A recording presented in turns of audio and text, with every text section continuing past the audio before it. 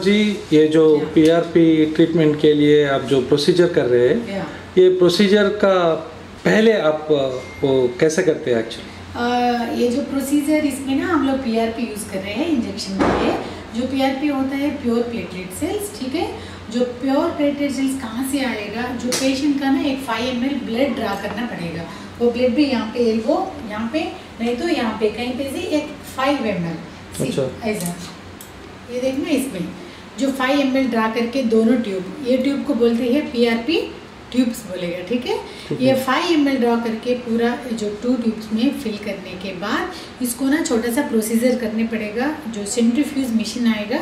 वो जो centrifuge machine में ना ये ट्यूब एक ट्वेंटी मिनट्स ओके ये ट्वेंटी मिनट्स वो जो मशीन में डालने के बाद जो हम लोग दे रहे हैं ना पीआरपी जो प्योर प्लेटेड सेल्स फाइनली वो प्योर प्लेटेड सेल्स आएगा। डॉक्टर जी ये जो पीआरपी ट्रीटमेंट के लिए आप जो प्रोसीजर कर रहे हैं ये प्रोसीजर का पहले आप वो कैसे करते हैं एक्चुअली ये जो प्रोसीजर इसमें ना हम लोग पीआरपी यूज़ कर रहे हैं इंजेक्शन के लिए।